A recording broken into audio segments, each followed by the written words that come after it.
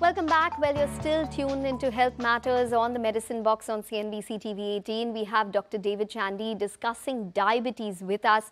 And this is our rapid fire segment where we have a lot of questions coming to us from viewers and people who do suffer from diabetes or have somebody in their family suffering from that. Uh, and basic questions which they want answers to. So the first question, Dr. Chandy, is Is type 2 diabetes reversible with only lifestyle changes? Yes, but there's an important catch to it. It has to be in someone who's obese because only if there's a weight loss will the diabetes reverse and it should occur in the first few years of diabetes when the pancreas is still fresh. If the pancreas is tired and it's been more than 5 to 10 years, it's unlikely that the diabetes would reverse. So, recent onset diabetes in an obese person, the answer is yes. Okay. Will all obese people get diabetes? No.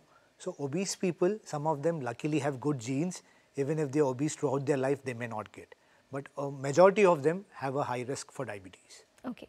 Is long-term use of liraglutide safe for diabetes management? Yes. So this is a new drug studied well for the last 10 to 15 years. So it is safe in the long run. Okay. Any common misconceptions about diabetes? So a couple of misconceptions are very common. One is like, you know, what is an ideal diet? So there are lots of things on internet, on Facebook. But the most common thing to remember is a balanced, simple diet is the best. You need to have something that is sustainable.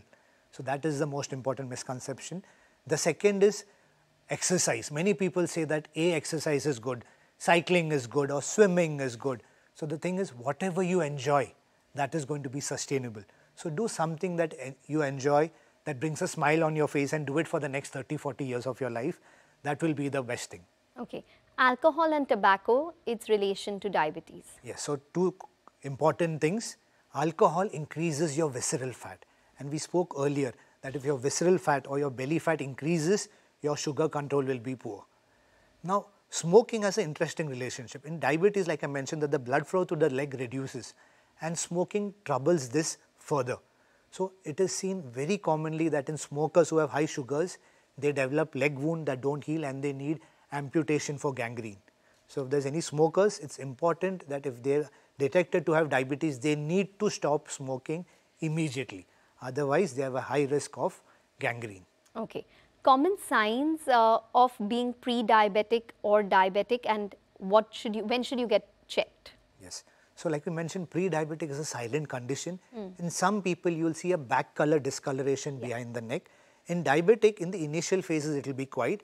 But when it advances and when the sugars are very high, one symptom would be passing lot of urine.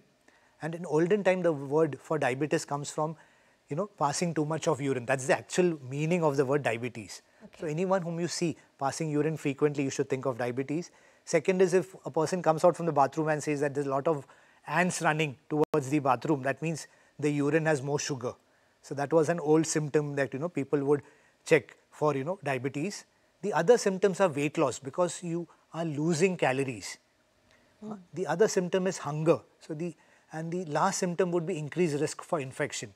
So if someone is having increased hunger, increased thirst, lot of urine and skin infection, check for diabetes. Okay, and lastly, what are the other strategies that can help control diabetes besides just exercise and diet? Discipline in taking medicines and discipline in monitoring your sugars many people like you know think things are good and then they forget you know to check their sugars for months and then they land up with complications. So every day I see two three of such patients. They did well for the initial few months and then they go to a comfort zone and they go within their shell and they stop monitoring and stop meeting their doctor and then they land up with a complication like a kidney infection or a wound in their leg and then they regret. So even if you're doing good, please don't forget to monitor your sugars. Okay, and can you live a successful, happy life with diabetes? Absolutely. Mm. Be it type 1 diabetes with insulin or type 2 diabetes with your lifestyle and medicines, you can absolutely live a healthy, happy life. Okay, all right, Dr. Chandy, thank you very much. It's been a pleasure for uh, giving us so much knowledge on diabetes and busting a lot of myths as well. Thank you very much for joining in. Thank you.